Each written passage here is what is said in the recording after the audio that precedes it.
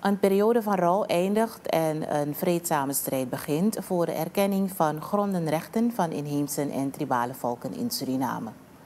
Ivanildo Dijksteel en Martinus Wolfjager, die een jaar geleden omkwamen bij geschillen over grondenrechten in Wigipoika, werden gisteren geëerd met een stille loop en een herdenkingsdienst in de kathedrale basiliek.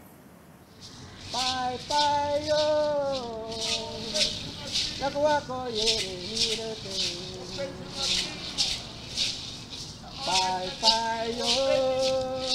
Vanuit de Palmentuin werd een paar straten verder gelopen naar de kathedrale basiliek aan de Henk Aronstraat. Hier hing een spandoek met de boodschap Justice voor Ivanildo en Martinus, terwijl een ander spandoek foto's van de mannen had met de tekst If we die, we die, defending our rights. Muriel Fernandes, voorzitter van de Vereniging van Dorpshoofden in Suriname FITS, zegt dat er sinds het incident vanuit de FITS geprobeerd is om de inheemse gemeenschap te blijven sterken. Natuurlijk als inheemse organisatie probeer je dan alles op alles te doen om te kijken om de gemeenschap een beetje um, rust te brengen binnen de inheemse dorpen. En ook de nabestaanden um, een beetje namens de traditioneel gezag van Suriname. De mensen ook een beetje te troosten in liefde, verlies die ze hebben gehad een jaar geleden. We proberen zoveel mogelijk um, in dialoog te gaan, zodat het niet uh, uitspat naar wat er 2 mei is gebeurd. Maar we gaan niet stil blijven en we gaan het ook niet hierbij laten.